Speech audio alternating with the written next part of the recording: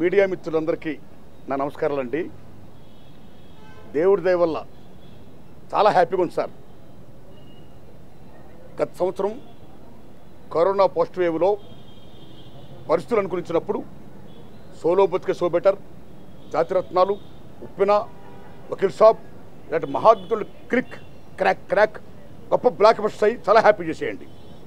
మళ్ళీ ఈ సంవత్సరం సెకండ్ వేవ్లో చాలా దారుణమైన పరిస్థితులు ప్రపంచం ఫేస్ చేసింది మన భారతదేశం ఫేస్ చేసింది. మళ్ళీ ఈ దశలో ఎప్పుడు సినిమా థియేటర్లు తెరుచుకుంటాయా?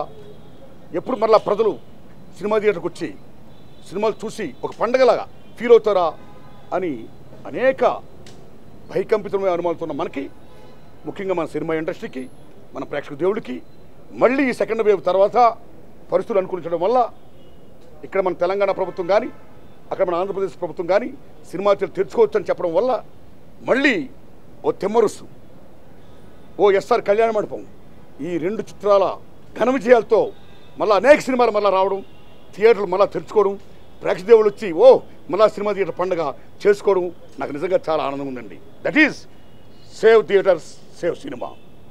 Cinema సినిమాయే థియేటర్ థియేటరే. వెరీ హ్యాపీ ఈ దశలో నేను తీసిన రైతన్న సినిమా ఈ నెల పద్నాలుగు రిలీజ్ చేస్తున్నానండి. ఆగస్ట్ పద్నాలుగో తారీఖు సార్ ఈ నెల పద్నాలుగు తారీఖు అండి ఈ సినిమాలో ముఖ్యంగా నేను చెప్పింది మీకు తెలుసు. ఈనాడు రైతు తను పండించే పంటకి గిట్టుబాటు ధర రాకపోవడం వల్ల ఎన్ని ఇబ్బందులు పడుతున్నాడో దానికోసం ఈవేళ గత ఎనిమిది నెలలుగా ఢిల్లీలో ఎటువంటి పోవడం చేస్తున్నాడో ఆ నేపథ్యమే నా సినిమా రైతన్నండి. ఈ భూప్రపంచం మీద ఎవరైనా వస్తువులను ఉత్పత్తి చేస్తే ఆ వస్తువులకు రేటు తనే నిర్ణయిస్తాడండి. అదేం కర్మో కానీ మన దేశంలో కానీ ప్రపంచంలో ఎక్కడైనా సరే రైతు మాత్రం తను పండించే పంటకి గిట్టుబాటు ధరను తను నిర్ణయించట్లా. కేంద్ర రాష్ట్ర ప్రభుత్వాల మార్కెట్ల టోటల్ ఈ నిర్ణయిస్తున్నాయి. ఈ దశలో రైతు గిట్టుబాటు ధర కావాలంటే డాక్టర్ స్వామినాథన్ కమిటీ సిఫార్సు ఇంప్లిమెంట్ చేయాలి అని ఈవేళ రైతు నాయకులు కానీ ప్రజా సంఘాలు కానీ అనేక మంది సపో యుద్ధం చేస్తున్నారండి. దాన్ని నేను మనస్ఫూర్తిగా కళాకారులు సపోర్ట్ చేస్తున్నాను ఎందుకంటే ఈవేళ రైతు కష్టపడి తను పండించే పంటకి చాలా ఖర్చు పెట్టాల్సి వస్తుంది. కూలీ రేట్లు కానీ అనేక రేట్లు పెరిగిపోయాయి.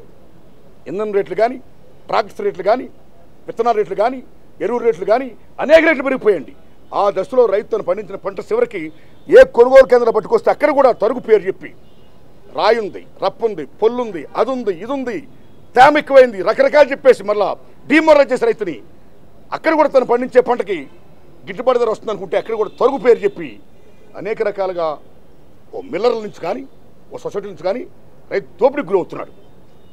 గుండె తరుకుపోతుంది ఇలాంటి దశలో రైతు బాగుండాలంటే గిట్టుబాటు ధర రావాలి. ఆ గిట్టుబాటు ధర కోసం ఏ రైతులు అయితే పోవడం చేస్తున్నారో ఆ నేపథ్యంలో తీసిన సినిమా నేను ఇది కాబట్టి నేను నరేంద్ర మోడీ గారిని విజ్ఞప్తి చేస్తున్నా. అయ్యా నరేంద్ర మోడీ గారు గత రెండేళ్ళుగా ప్రపంచం అంతా కరోనా భయంతో భయకెంపుతులైపోయి ఎళ్ళకే పరిమితమైపోయి శానిటైజర్ రాసుకొని మాస్కులు ధరించి కూర్చున్నప్పుడు ఇళ్ళలో ఉన్నప్పుడు ఏ మాస్కులు ధరించకుండా ఏ శానిటైజర్ రాసుకోకుండా ఆరుగాలం కష్టపడి మూడు పంటలు తీసి ఈ ప్రపంచానికి అన్నం పెడుతున్నాడు రైతు. అలాంటి రైతుని మీరు గుర్తించి గౌరవించి వారు చేస్తున్న మహోన్నత పోరాటాలు ఏమైతే ఉన్నాయో ఆ డాక్టర్ స్వామినాథన్ కమిటీ సిఫార్సు ఇంప్లిమెంట్ చేయడం కోసం ఆ రైతుకి ఎంఎస్పి ఆ కనీస మద్దర చట్టబద్ధ చేసి వాళ్ళకి మేలు చేయాలని నేను మీకు వేరే శిరసోని దండం పెడుతున్నాను నరేంద్ర మోడీ గారు ఇదే నా రైతు చిత్రం అండి. సో ప్రేక్షక దేవుళ్ళరా రైతు జీవితం రైతు బతుకు ఈ రకంగా అనేక రకాలుగా అతివృష్టి అనావృష్టి అనేక రకాలుగా రైతు దోపిడీకి గురవుతున్నాడు. ఈవేళ భారతదేశంలో ఏదైనా సామాజికంగా వెనుకబడిన తరగతి ఉందంటే రైతే. ఇవాళ రైతు ఏళ్ళలో సంబంధం చేసుకోవడం కూడా చాలామంది ముందు రావట్లా. ఎందుకని? ఒక భద్రత లేకపోవడం వల్ల. కాబట్టి రైతుకు భద్రత కావాలంటే గిట్టుబాటు ధర కావాలి. గిట్టుబాటు ధర రావాలంటే నాడు స్వామినాథన్ కమిటీ సిఫార్సుని రైతుల డిమాండ్స్ మేరకు కేంద్ర ప్రభుత్వం ఇంప్లిమెంట్ చేసి మేలు చేయాలని మనస్ఫూర్తి కోరుకుంటున్నా. అది నా రైతు చిత్రం అండి. ఈ నెల పద్నాలుగు రిలీజ్ చేస్తున్నా.